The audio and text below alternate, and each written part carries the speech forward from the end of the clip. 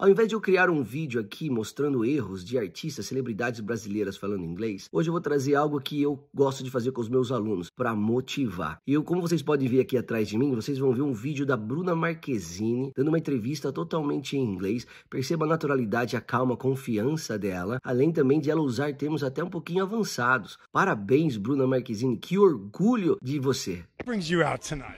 Um, I'm here um, with joining my friends from DC. Yeah. It's my first um, time on something like this, this big. It's amazing. I'm so excited. What does it feel like? Uh, it feels now I'm feeling a bit better. I'm a, a bit more confident, but it's it's great. It's great to be to be a part of such a beautiful night. Julia Roberts is here. What's your favorite? Is being honored. What's your favorite Julia Roberts movie? Uh, I have to say, Pretty Woman. Why is that? Um, because I just I just love everything about it, and I, I dressed up um, as her for Did you? Halloween and all of it. Yeah, so.